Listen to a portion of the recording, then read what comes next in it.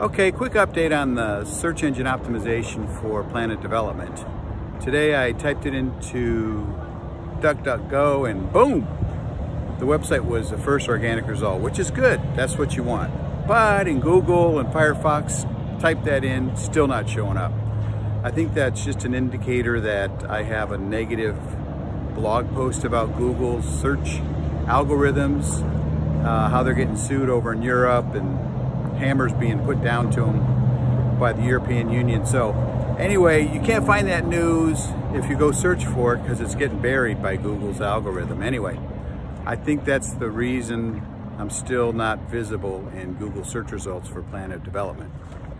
On another front, website stores are so powerful.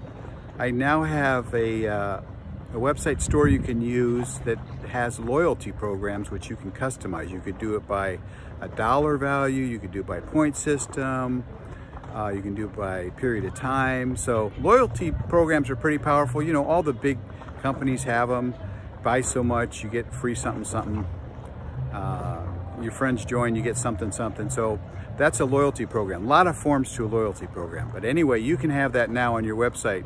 Um, Shift for Stores is the website. Shift for Stores, if you go out there and explore their website and their blog. What they do, if you already have a website, they can tie your store in, it's seamless, and they give you an SSL certificate also. You just do a subdomain. But um, if you have a store, oh, and the best part is that they're not charged, there's a flat fee. They are charging you, it's a flat fee once a month.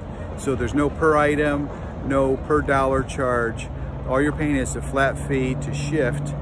Plus you, you know, continue to pay your processing fee to PayPal or Stripe or whoever's processing your credit cards. That's, that's always gonna be there. But it's pretty cool, flat fee for, you know, certain number of transactions get your SSL certificate. It's seamless to your website.